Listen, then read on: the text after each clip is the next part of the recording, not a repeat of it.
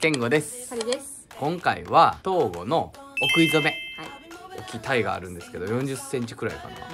を買ってきて調理するところから始めてででその赤飯を炊いてお母さんとかに煮物とかこう分担してね。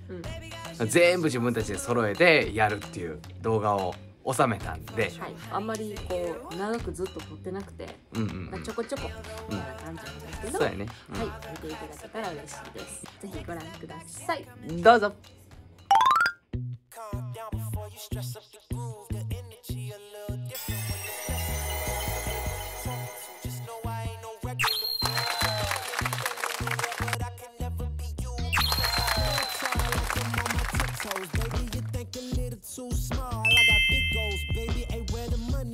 I just need the info. Pronto, I go and get it and split it with my kinfolk daily. And I'm the type of nigga I might change my number on you. Yeah, that's how you react when people took a slumber on you. Pretty brown skin, baby. I can see the summer on you. You see all the bread, and I know it make you wonder, don't you, don't you, don't you? Ooh, I ain't surprised at all.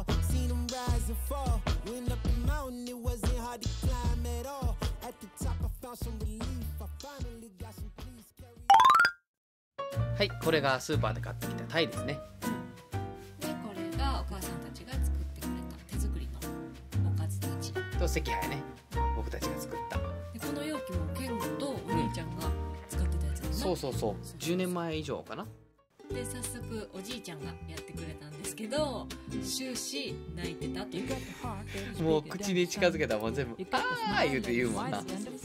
この前もめっちゃご機嫌でニコニコしてたのに始まった瞬間に泣くっていうそうそうそう。そうほらほらほらほら そうやね。調子悪かったよなこの時は。うん。であのお食い初め初めてやったんですけど案外工程踏むのが多くてそうちょっとびっくりした。正直買い物赤飯挟ん。でしまう。そう。そう。そう。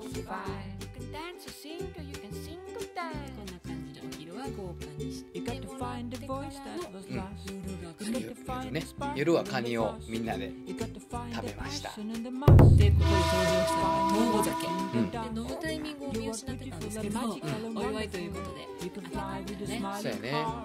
いいお酒みたいでしょ？名前も入れてもらって作ってもらったんかな？な。でみんなでワイワイしてる中彼は夢の中ということで。そうですね。こんな感じのお食い初めでした。はい。